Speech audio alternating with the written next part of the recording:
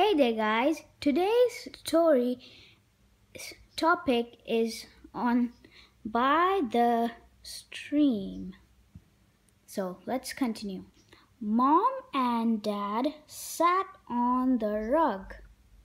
The children played by the stream. They are all playing by the stream.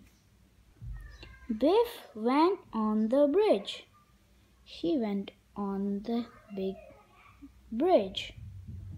They dropped sticks in the water. They all are dropping sticks in the water. Kipper couldn't see. He couldn't see. His height was really short. Kipper climbed up. He climbed up. He dropped Teddy in the water. He dropped Teddy in the water. Get Teddy, said Kipper. He said, Get Teddy. Biff couldn't get Teddy. She couldn't get Teddy. Get Teddy, said Kipper. Kipper said, Get Teddy. Mom couldn't get Teddy. She couldn't get Teddy. I want Teddy, said Kipper.